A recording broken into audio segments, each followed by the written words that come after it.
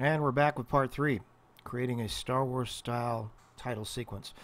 When last we talked, I was setting this orientation, and I found that 275 degrees is going to be about right for what we want to do. Uh, now, setting the resolution, well, I'm going to take it all the way down to a quarter just for now. I'm going to bring this up to fit the window. And you can see that as the Star Wars logo is fading out, the scroll is going off into the distance.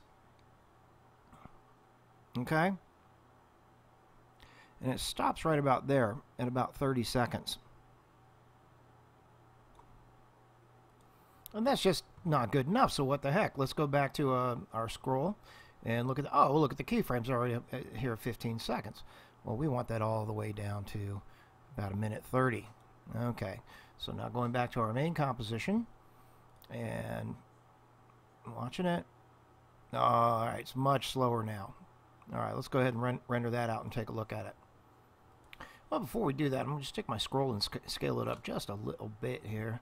I'm going to get make that a little bit bigger. Take it a little closer to the edges of the of the screen there. Just make it look a little more ominous.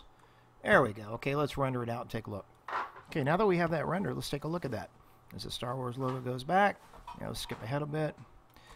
And we can see it fade out, and the scroll starts to come in. Now that's still pretty slow. That is still pretty darn slow. Let's take a look at that and see if we want to make that any faster, because I think we do.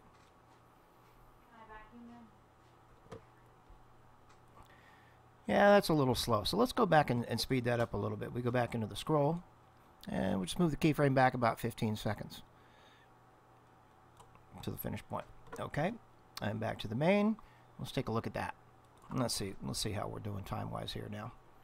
So one more thing we're going to do as soon as we check out this speed was one more thing we're going to do to kind of push this over the cliff and make it look uh, really good using a camera and depth of field to give it that extra little push. Now I like that time much better. There we go. Very nice. Okay, moving on.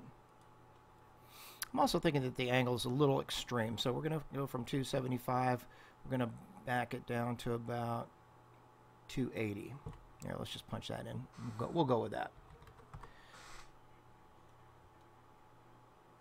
Okay, we're ready to add our camera.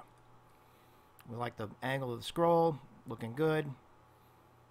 Why they chose that justified the way they did with the big gaps between the words, I don't know, but that's the way they did it. Okay, under layer, we're going to add a new camera. Uh, 50 millimeters just fine. Click OK. Uh, with the camera, scroll down or twirl down. Camera options. Camera options. There we go. Uh, depth of field. We're going to turn that on. And look, the text got blurry. That's okay. We're just going to set the the uh, focus distance until the stuff up front gets real clear. And all we have to do is start cranking it up until it comes into focus. Let's turn the resolution up so we can see it more clearly. I'm going to turn it up to full for this. All right. Let's just crank up that focus distance here. Well, that's looking pretty good right there. Looking pretty, pretty good right there. About 1500 I think is going to be about the magic number for that. And now as the text goes farther off into the distance, it gets kind of out of focusy and blurry and and that's uh, pretty much what we're looking for. Right? Now with the resolution back on one quarter, let's figure out where this text stops now.